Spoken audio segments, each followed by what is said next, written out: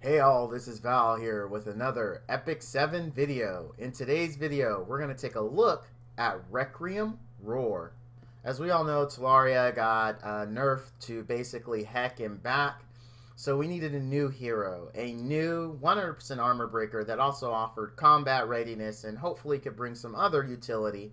And I believe I have found her. That is going to be our girl Requiemroar.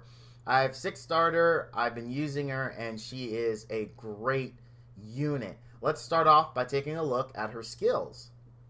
So her skill one is uh, Insanity. Claws the enemy with a 50% chance to decrease attack for one turn. I'm going to say something about this. This, believe it or not, is amazing. Like, it, it is so good. I do plan on getting this to the 75% uh, chance because it is just so good. Like you, you hit Wyvern with this, you hit anything with this, and their damage significantly drops. 75% is sort of reliable. I mean, it, it's it's hit when it's needed to, and of course, there's been times when it has hasn't hit. Because right now we've got a 50-50 shot at it, but it's good enough to where it is worth going down in the tree and picking up this ability. It's just so good, so good. Now her passive, all allies absorb 5% of the damage they each inflict as health and recover 15% health every time an enemy dies. Now, this does happen when an enemy dies. This actually is really good because when you're fighting boss monsters, they typically have ads, and most of the times you have to kill the ads killing those ads actually will heal you and it adds up and ends up being significant. Trust me, I've been using her for a while and the heal actually is significant. It's really, really good. Health recovery upon enemy death can only be activated once per turn. It is really good ability. Trust me on this. Now, I haven't started investing points into this yet because first I want to work on her skill 3, which you're going to see here soon, and then her skill 1. So now let's look at skill 3. Uh, Dirge attacks with magic with a 85% chance to decrease defense for two turns and increases allies' combat readiness by 20%. Soul burn effect for 10 souls is increases damage dealt. So by default, this only has a 75% chance. You can see where I did pick up the 10% effect chance. I'm now working on getting the 15%. I believe I am three uh, Mandragora away. So it, it's so good though. So a 100% chance. And the damage it deals is decent damage. This is a really good ability and can replace our beloved Talaria. She, she's gone to nerf heaven in the sky. I mean, this isn't as good as hers because I believe hers was on a three-turn cooldown at max skill, if I'm not mistaken. Please correct me in the comments below if I am wrong. But this is just so good. She is a really, really good unit, and she brings a lot to the table. So, let's take a look at how I have her geared. Because she does have debuffs, debuffs that you want to hit, namely the attack and defense break, I went with speed and then effectiveness. You can see the stats of the gear here if I'm going too fast, go ahead and pause the video and you can uh, see the stats a bit more. Now her boots are going to give me 30 at level 15. So keep that in mind when we look at the stats.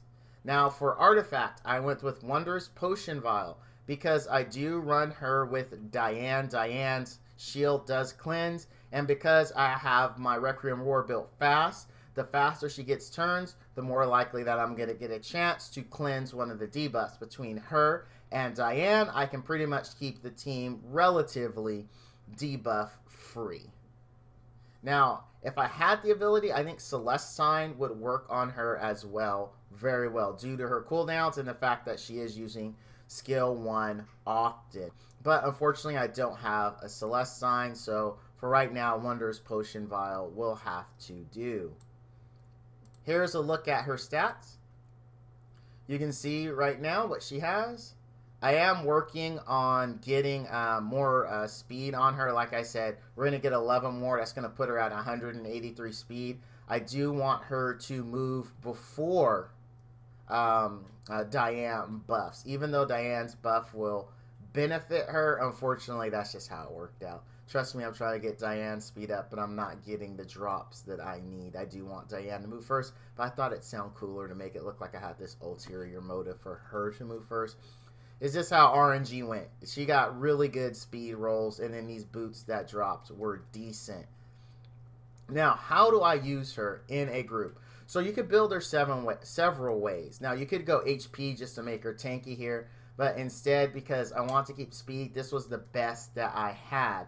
However, given a choice, I would definitely swap this out, and I would put in um, a speed with uh, effectiveness. I believe effectiveness is on the neck, if I'm mistaken, and not the the ring. But if it is the other way around, then I would want to put either HP or defense speed here.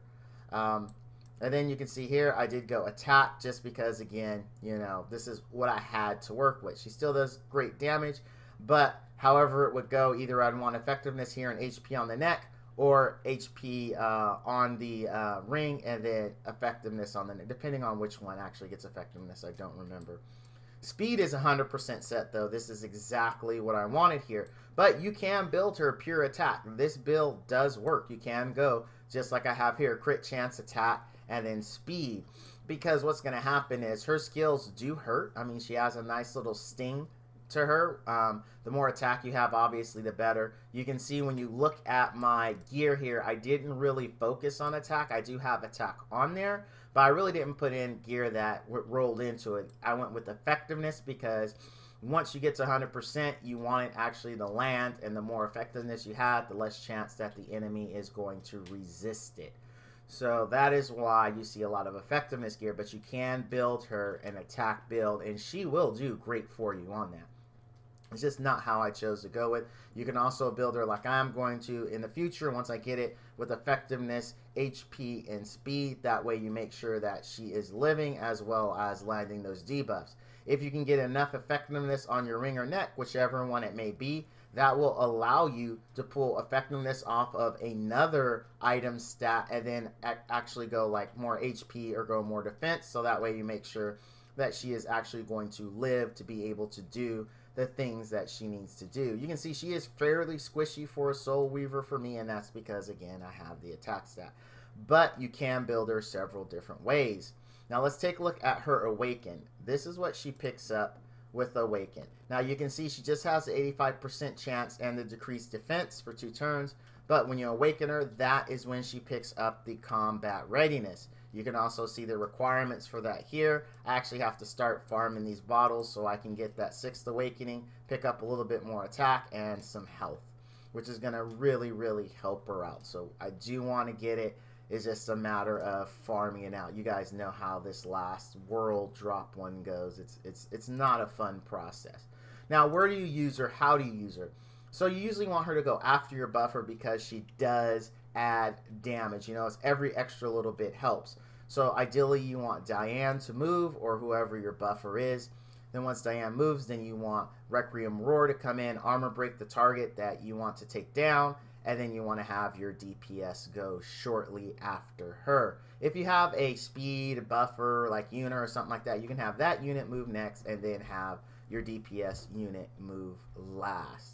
But that is how I run it. My order currently, um, right now, is uh, Diane, then Requiemroar, then um, Lorina, and then after Lorina, pulling up the rear just in case people we were cut, we took some damage. You have Destina to heal us up and top us off if we uh, some shenanigans happened in between there. Now you can use her that way in both PVE and PvP. If you are going to take her into arena and have her be your PvP unit, you definitely want to focus on HP and as well as um, defense because she's a little squishy.